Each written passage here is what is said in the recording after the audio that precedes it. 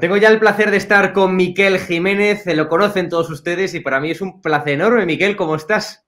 El placer es mío, Hugo. Un abrazo muy fuerte. Estamos óptimos, como siempre. Estamos óptimos, eso es. Bueno, me gustaría que me contaras, que me dijeras qué va a ocurrir el próximo 6 de septiembre, porque esa es, desde luego, una fecha clave, una fecha en la que, bueno, pues se va, se va a erigir, ¿no? Isabel Díaz Ayuso como presidenta de Tabarnia. Es una mujer importante aquí en Madrid y desde luego lo va a ser más también para Tabarnia, ¿no?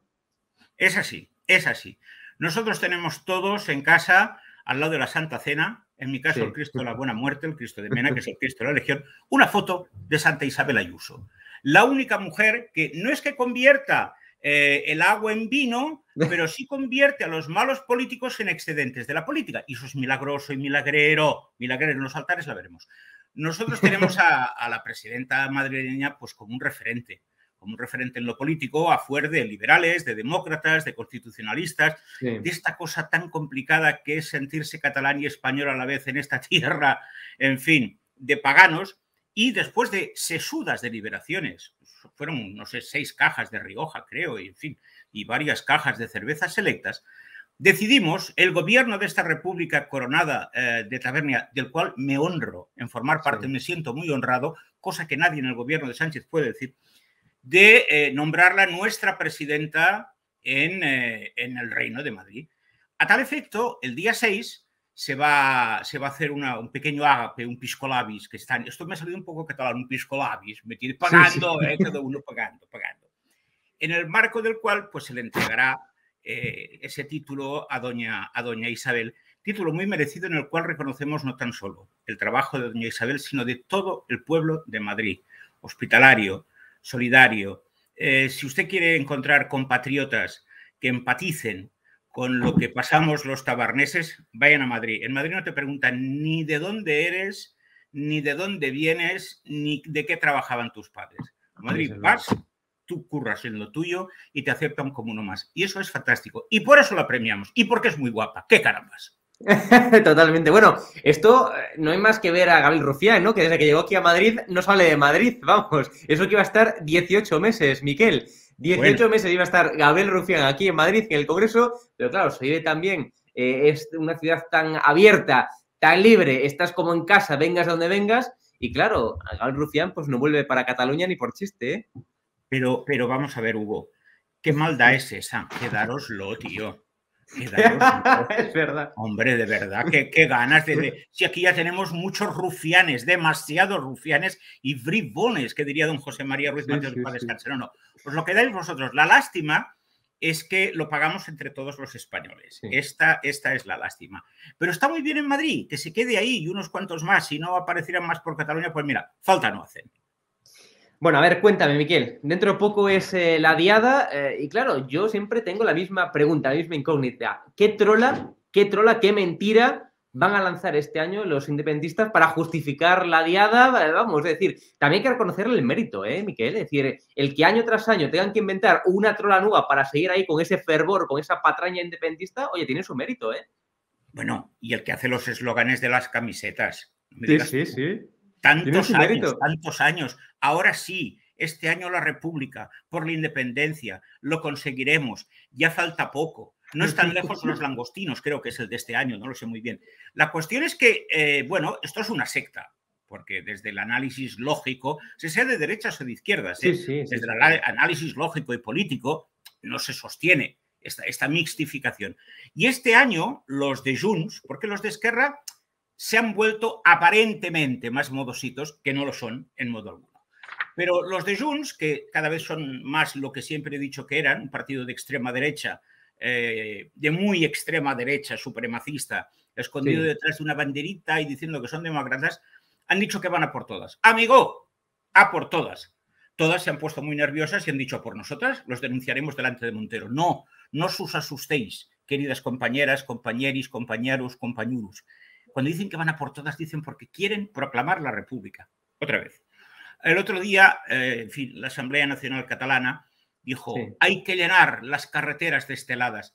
Yo solamente vi en un puentecito a siete jubilados, pobrecicos, siete, ¿eh? los conté, siete, que ponían algo y estuve a punto de decir, pero no ve que con el calor que hace le, va a dar un paralís. Haga el favor y vaya para casa, hombre.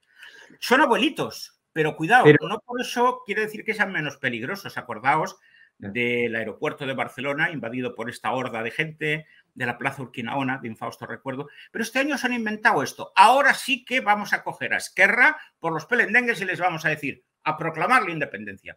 No lo harán y a seguir cobrando del erario público, que es lo que Bueno, eso es, un chollo realmente. Es decir, se, han, se han, encontrado, han descubierto una forma de ganar pasta, de ganar millones y más millones. Vamos, es todo un chollo. Pero hablando de abuelitos, fíjate que yo siempre me pregunto lo mismo, ¿no? Porque me sorprende muchísimo. Llevan años cortando día tras día la diagonal de Barcelona. O sea, que esto es algo que se sabe poco. Es decir, año tras año, día tras día, cortando la diagonal de Barcelona y que son efectivamente también tres, cuatro o cinco personas que son, eh, bueno, pues, pues abuelitos también y ahí siguen día tras día. Vamos, cuando me lo contaron me quedé flipado.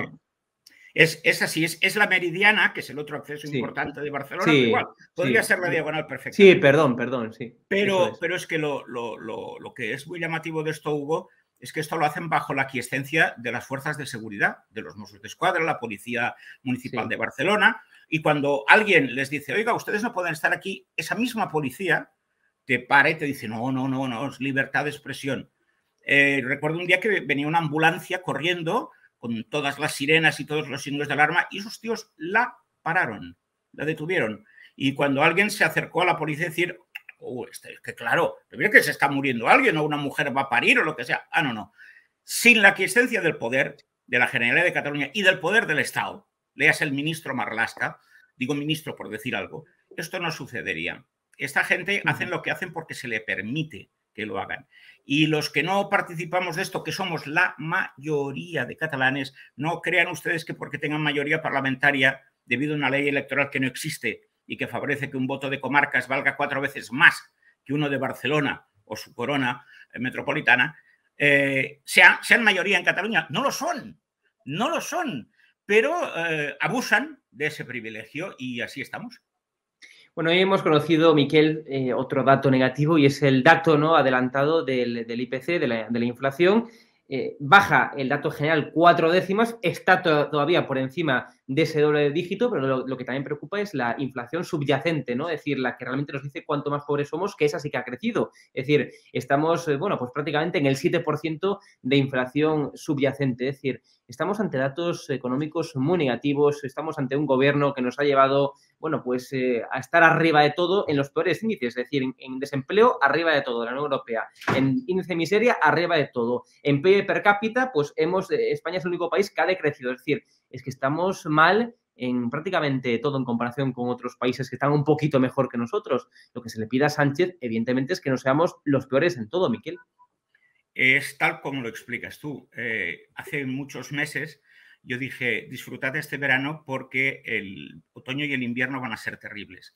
Sí. La gente nos hemos ido de vacaciones, yo el primero, hemos dicho, ya vendrá eh, Paco con las rebajas. Bueno, las rebajas sí. ya están aquí la crisis energética es enorme. Bruselas ha convocado una reunión de urgencia porque no saben qué hacer ante el cifostio que han montado ellos solitos, porque Bruselas tampoco te creas que son unos lumbreras en estas cosas. Y, y yo creo que esto, mira, tiene una parte positiva. Ya sé que la gente que lo está pasando francamente mal porque no tiene cosas tan simples como comprarles los libros o la equipación a sus hijos para la vuelta al colegio, algo tan básico como esto, y que empiece a decir es que voy al supermercado y hay productos que me han subido un 40%, un 50%, un 100%, esto está pasando, sí, sí, sí, que diría mi admirada Rocío Monasterio, esto está pasando. Bueno, eh, yo creo que eso será el principio del fin de mucha tontería, porque a la gente cuando le tocas el bolsillo se echa para atrás. De ahí las paguitas de Sánchez y todo eso, pero claro, no puede subvencionar a 47 millones de españoles. Con lo cual, eh, a la que la gente vea que el bolsillo eh, se le queda vacío en Cataluña, a la que la gente uh -huh. entienda, la, la, que todavía cree que la República y tal, que no se hace sopa de banderas esteladas, ni se puede comer eh, repúblicas utópicas, a lo mejor reflexiona y cuando vaya a votar, eh, votará con un poco más de criterio, porque lo cierto es que todas estas quimeras podemitas, socialistas, sí. separatistas, lo único que han traído a España es ruina. Y lo que pide la gente es un gobierno serio, sea de estos o de los otros, serio, que afronte la economía y los problemas básicos de la gente de la calle. Y para concluir, Miquel, hablando de, votar, de votaciones, em, ¿crees que habrá elecciones anticipadas? ¿Crees que no? ¿Crees que Sánchez, bueno, pues eh, intentará aguantar a pesar de lo que se le viene encima, como bien has dicho, como dicen todos los expertos, economistas, hasta el propio gobierno dice que hay una crisis, eh, bueno, pues eh, dura, muy dura. ¿Crees que aguantará Pedro Sánchez o habrá elecciones anticipadas?